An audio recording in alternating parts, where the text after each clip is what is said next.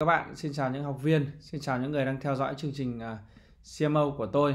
À, video này thì tôi sẽ nói về một cái chủ đề có tên là chủ đề đo lường và đánh giá chiến dịch về digital marketing hoặc là chiến dịch marketing nói chung và nói riêng là digital marketing. Lý do là digital marketing thì nó dễ đo lường hơn bởi vì mọi công cụ mà chúng ta sử dụng thì đều có những cái chỉ số đo lường cụ thể và cơ bản à, tôi cũng đào tạo cho các cái à, vị trí à, CCO, CEO hoặc là à, CMO khá là nhiều các chương trình đào tạo rồi.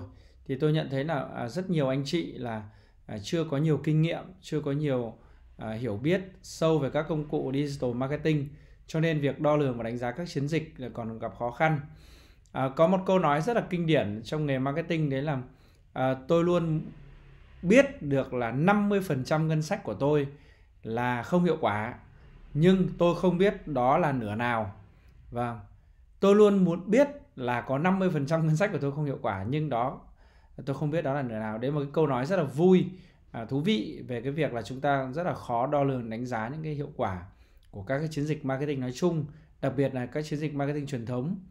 Ví dụ như là bạn đe, ờ, treo một cái billboard ở ngoài trời đúng không ạ? Hoặc là bạn đi phát tờ rơi thì bạn đã thấy là cái hiệu quả của nó gần như bằng không hay là bạn à, mua một à, loạt những cái à, quảng cáo trong thang máy thì không rõ là cái bao nhiêu người đã nhìn thấy và có chuyển đổi thành người mua hay không thì chúng ta cũng không biết.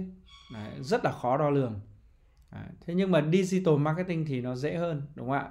Và thì đầu tiên là chúng ta sẽ làm quen với một số những cái chỉ số cơ bản một số những cái chỉ số cơ bản gọi là nhập môn của quảng cáo trực tuyến ấy à, thí dụ như là chúng ta nhìn thấy là CPM CPM Đấy, đây ạ.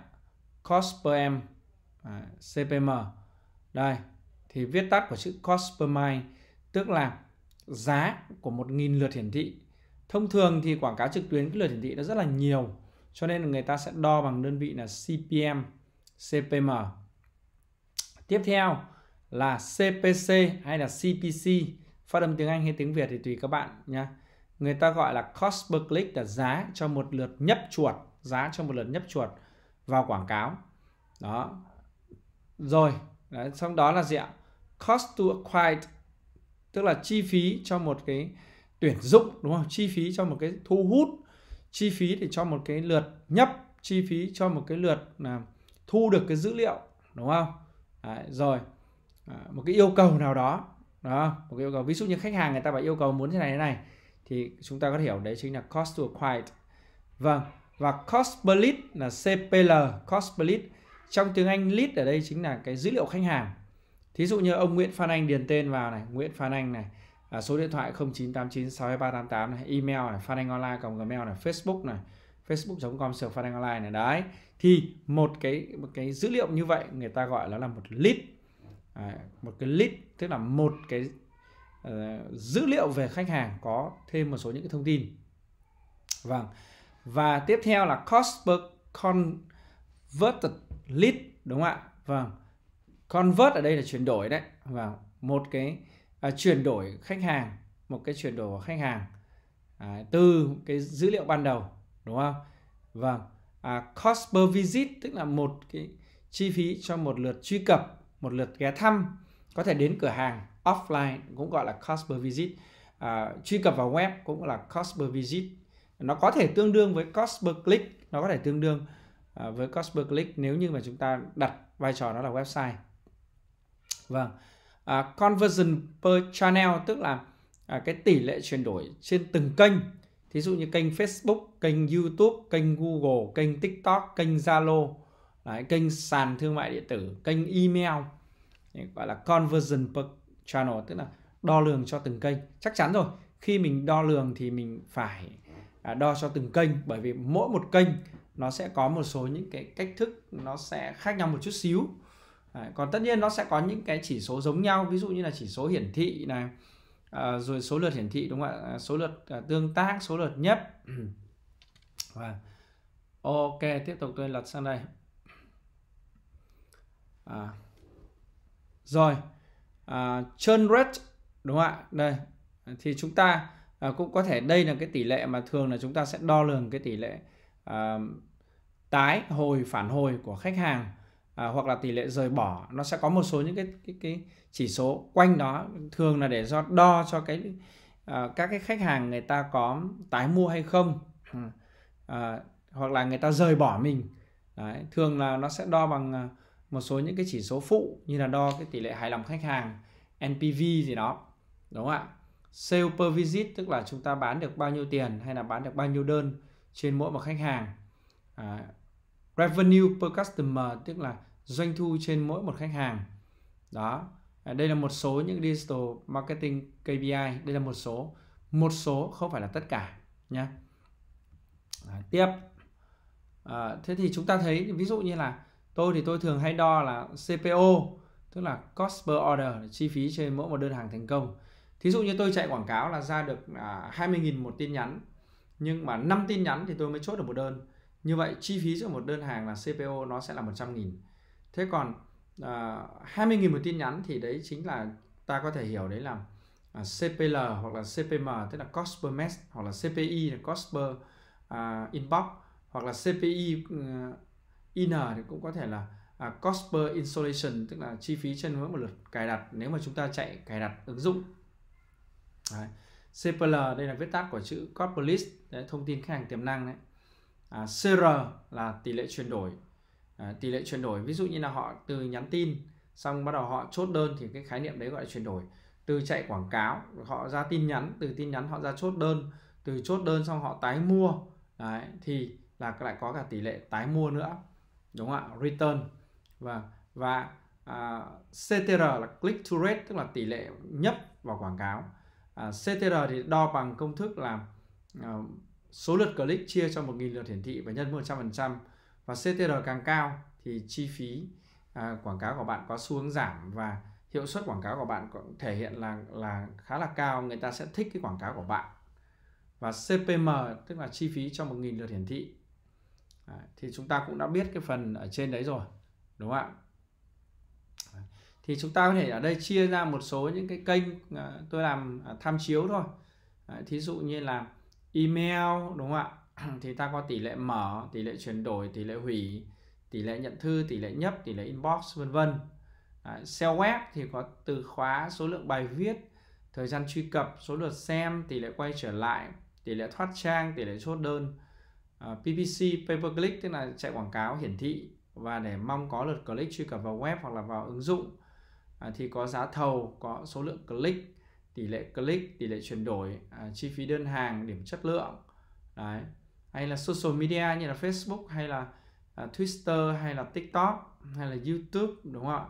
Thì có tỷ lệ tiếp cận tự nhiên uh, tỷ lệ tiếp cận trả phí uh, giá thầu tin nhắn giá thầu à, click giá thầu truy cập tăng lượt theo dõi à, tương tác à, rồi thì à, số lượt à, à, truy cập đúng không ạ? Rồi thì à, à, số lượt à, nhắn tin vân vân đúng không? À, chất lượng của mỗi tương tác. À, thế còn là về mặt khách hàng thì chúng ta sẽ có là à, tỷ lệ chốt đơn giá trị đơn hàng tỷ lệ tái mua tần suất tái mua mức độ hài lòng tỷ lệ rời bỏ. Và marketing nói chung thì chúng ta sẽ có à, quan tâm đến ngân sách đúng không? chi phí phân bổ thị phần doanh thu lợi nhuận các chỉ số khác vân vân. Thì à, đối với các giám đốc marketing thì chúng ta phải biết những cái khái niệm này hoặc là chúng ta là chủ thì chúng ta biết những cái khái niệm và những cái chỉ số này. Và thứ hai là chúng ta sẽ yêu cầu nhân sự của chúng ta báo cáo à, cho chúng ta biết. À, thế thì khi mà chúng ta báo cáo thì chúng ta sẽ xem cái báo cáo như thế nào. Thì tôi đã gửi cho các bạn một số những cái báo cáo xem như thế này.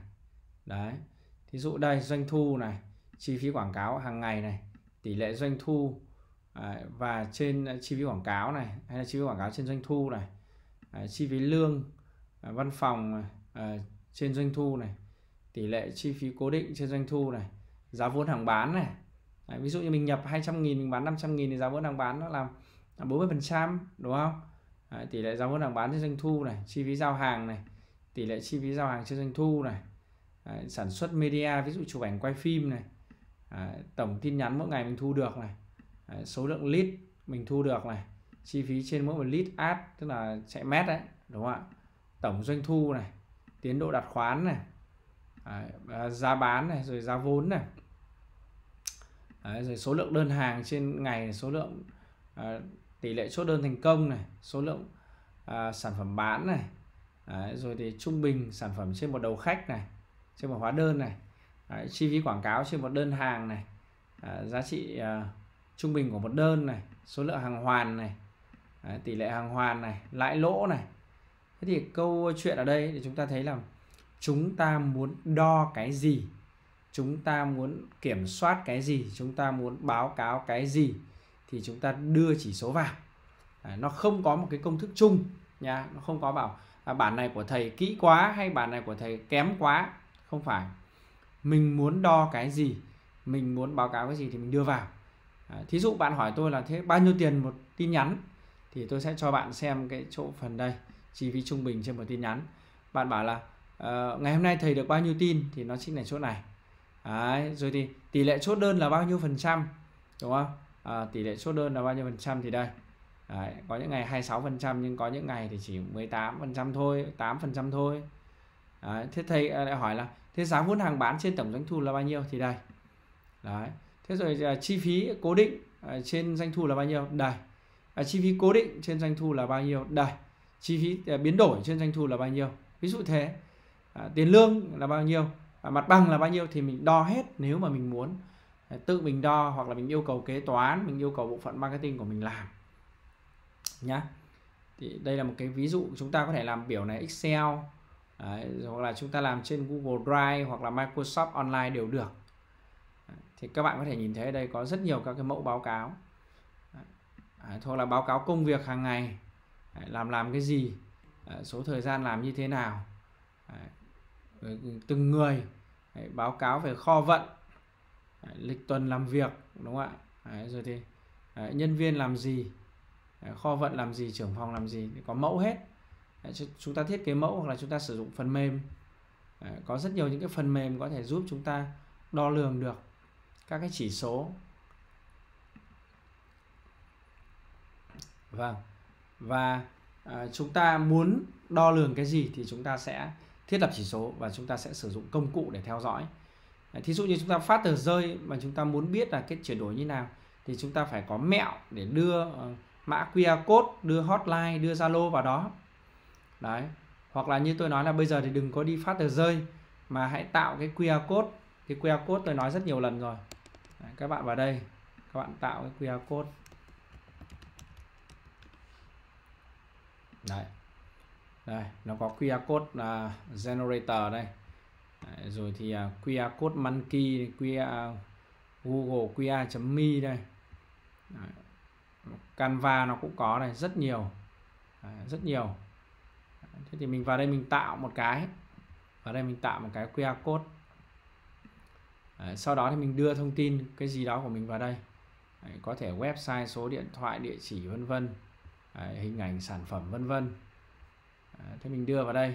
Sau đó mình in cái mã này ra mình dán vào à, các cái nhà vệ sinh dán vào à, các cái um, à, chỗ để chờ xe buýt đúng không? Những cái chỗ đấy mình không mất tiền. Đấy, mình dán rất nhiều chỗ. Đấy, thế là như vậy mình à, quảng cáo rất là hay. Đấy, hoặc là đây in ra áo in ra cốc cũng rất là vui.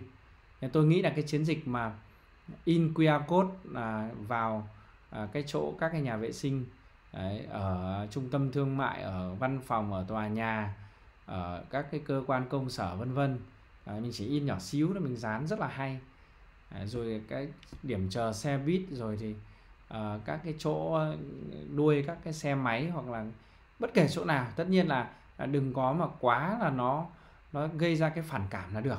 Tại vì cái mã QR nó bé thôi. Ok à, cũng là một cái chiến dịch rất là tốt. Và sau đó thì mình đo lường. À, mình đo lường được là cái lượt truy cập đến từ cái QR đấy mình đo được hết nhá. À, thiết lập công cụ đo lường chỉ số đo lường và ừ, theo dõi nó. À, rất là quan trọng và chốt hạ là nó có hiệu quả hay không. À, và lấy lợi nhuận trừ đi chi phí thì chúng ta sẽ ra được thì chúng ta sẽ áp dụng được các cái chương trình của chúng ta. À, rồi chúng ta cũng xem tiêu chuẩn của ngành. Đấy, ví dụ như mình làm spa mình chỉ làm hết 10% thôi thì quá kinh điển.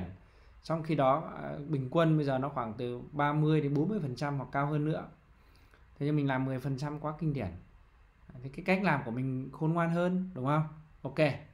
Rồi thì tôi xin phép trình bày với các bạn là sơ lược về à, cái gọi là đo lường các cái chỉ số à, và hiệu quả của uh, các cái chiến dịch marketing ờ, đặc biệt là các chiến dịch digital. Thì trong từng công cụ đấy nó có rồi. Facebook nó có công cụ của Facebook Google nó có công cụ của Google uh, TikTok nó có công cụ của TikTok thì mình sẽ xem trên từng công cụ nhá. Thế còn uh, khách hàng nói gì về mình thì mình có thể sử dụng các cái công cụ là công cụ là uh, social listening tức là lắng nghe mạng xã hội đấy thì ở Việt Nam có công cụ Reputa này họ làm rất là tốt họ nói về mình bao nhiêu tăng như thế nào nói có tốt hay không đúng không ạ? Thì rất là tuyệt vời. Để chúng ta nên sử dụng những cái đấy. Ok một lần nữa xin được cảm ơn các anh chị và các bạn. Và nếu các anh chị và các bạn gặp khó khăn trong việc à, à, theo dõi và đánh giá bộ phận marketing à, bộ phận kinh doanh hay làm nhân sự của mình hay là thiết lập các chỉ số thì các bạn cũng có thể liên hệ với giảng viên à, chuyên gia để được tư vấn và trợ giúp. À, thông tin của tôi thì các bạn cũng biết rồi đúng không ạ? Các bạn search Nguyễn Phan Anh PA Marketing là sẽ ra xin chào xin cảm ơn các anh chị và các bạn.